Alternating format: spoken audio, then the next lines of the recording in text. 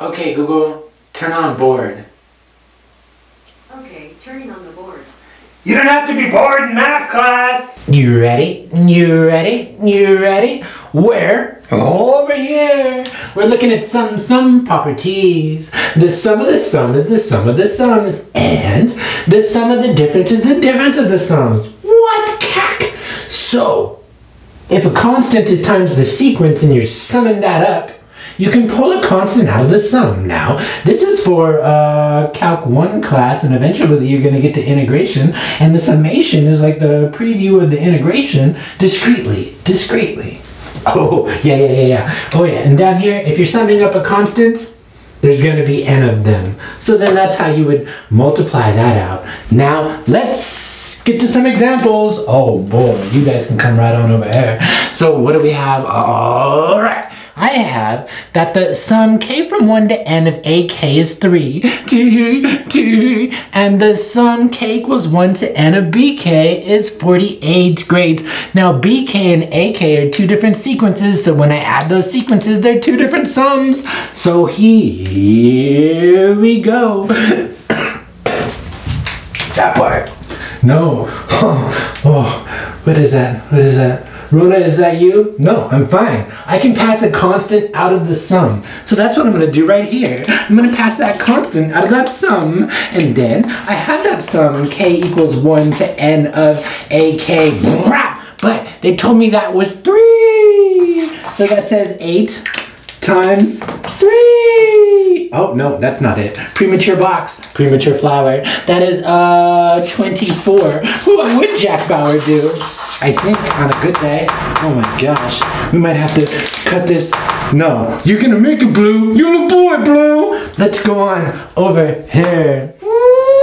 So here I got another constant, pass it out. I'm gonna pass out. So that's a 48 great weight. That's K equals one to N then. That's B, K. Okay, why did it just come a capital B? It's not supposed to, see? Usually use the little letters for the sequence. And I know that BK is 48. Jimmy Johnson, is he still doing that? That's 48 great weight. And then that's times 48. Oh no! Uh, oh! And you are the one.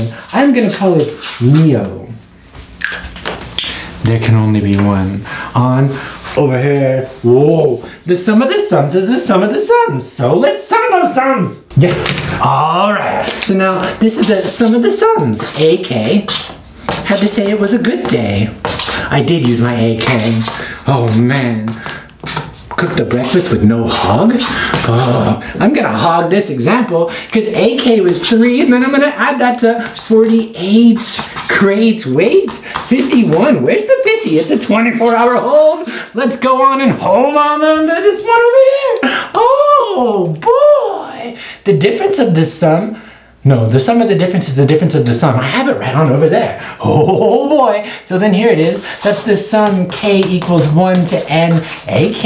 Okay. That's the sum k equals 1 to n bk. We say that ak gonna be 3 minus that 48. Great weight. Woo. So on a good day, on a good day, that's 45? it's a problem of a different caliber. Pow! Oh, oh, ah, woo. Here. Mm -hmm. So the sum of the sum is the sum of the sums, and I'm to pass that constant out. So here we go. That's the sum. K equals 1 to n of bk. All right. Minus now, wait for it. 7 times the sum of ak where what? K starts at 1 and goes to N, then I see T. T. My BK is 48. Great weight. And then that's 7 times whatever my AK was. It was 3. T. T. So that's 48 great weight minus 21 fun. Whoa, what is that? Is that 27?